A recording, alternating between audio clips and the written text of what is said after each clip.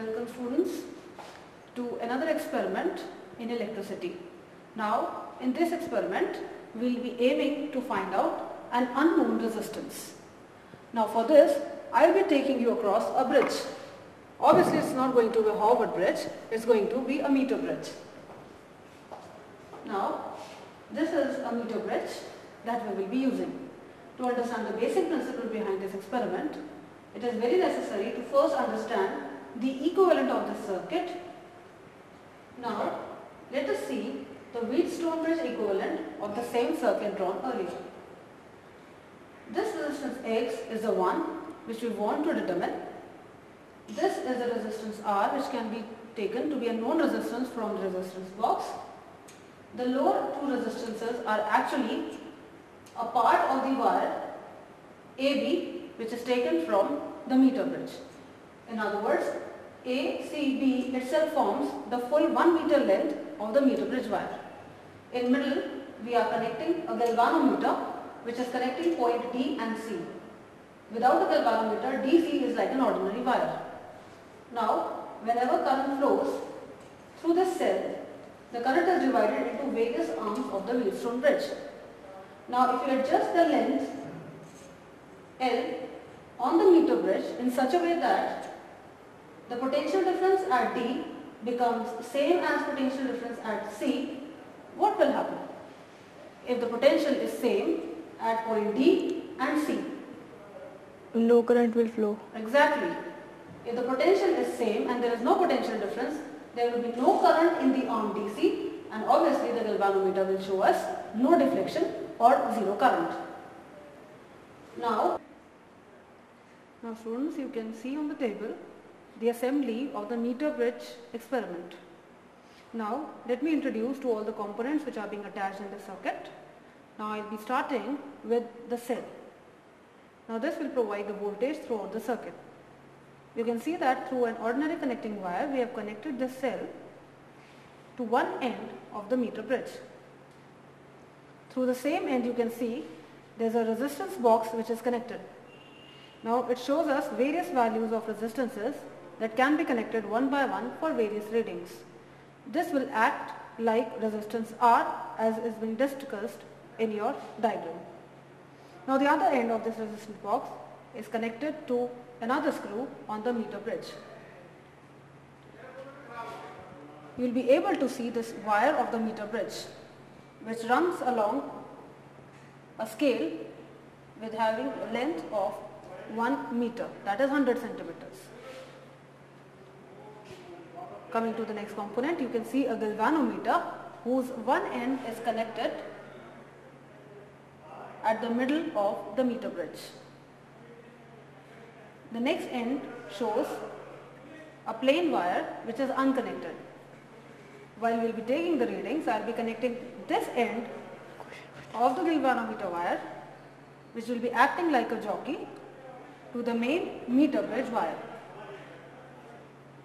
Coming to the next part, you can see that the unknown resistance X has been connected on the other side of the meter bridge. The other end of this unknown resistance is connected to a one-way key K. It is unconnected right now as the circuit is not working. And we end up the whole circuit at the other terminal of the battery. Now in order to take the readings, we first of all include this switch inside the one-way key. As soon as I put on the key, current starts flowing in the circuit. Now in order to get a null point, that is to balance the two resistances, I will use this end of the wire which is acting like a jockey and I will try to make the contact of this wire with the meter bridge wire which can be seen in silver color along the whole length of the bridge. Now if I consider this end to be the reference level, I will be connecting the jockey to the meter bridge wire.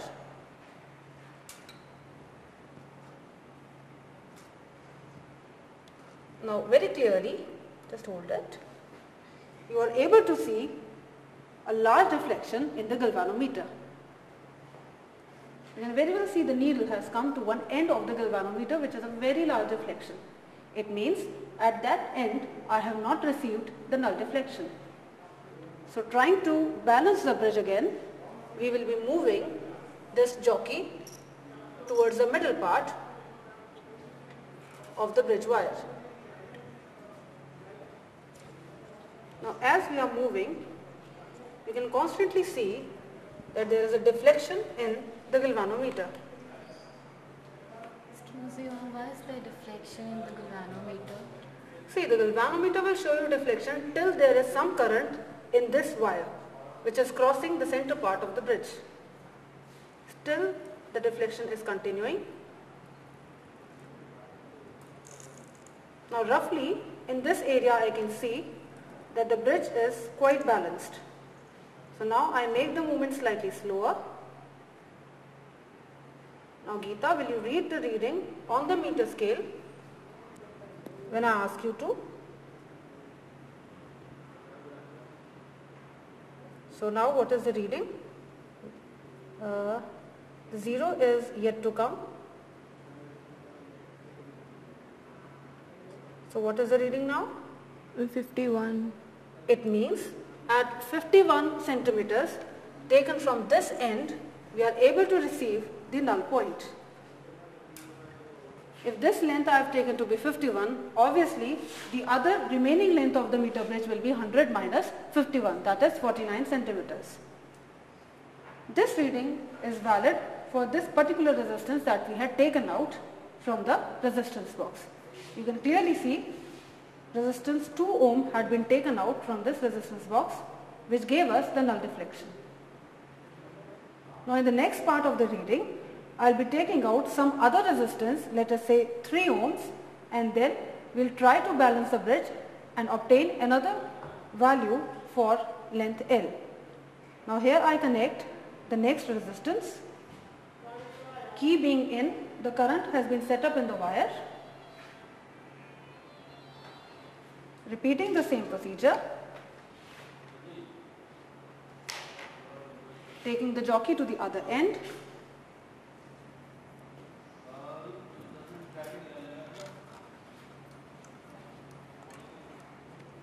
Now always remember this jockey should have a constant touch with the meter bridge wire.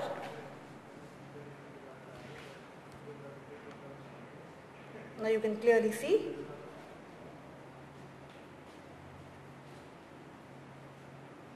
still deflection in the galvanometer.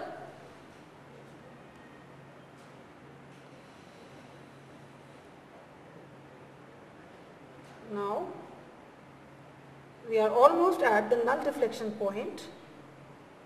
Read the length. 68.5. So the length comes out to be 68.5. The remaining length will give us 100 minus L. After taking the readings, make it a habit to remove this plug from the key in order to avoid the unnecessary heating.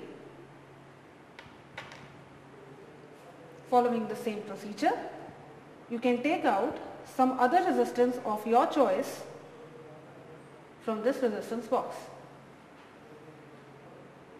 And the remaining procedure for calculating the value of unknown resistance shall remain same, that is by the null deflection method. Now, the readings that we have just now taken of length and the resistances have been tabulated in this table. You can see I have resistance R shown here which we were taking out from the resistance box. This is length L that we were trying to balance out, the remaining length 100 minus L and finally through the formula we can calculate the unknown resistance.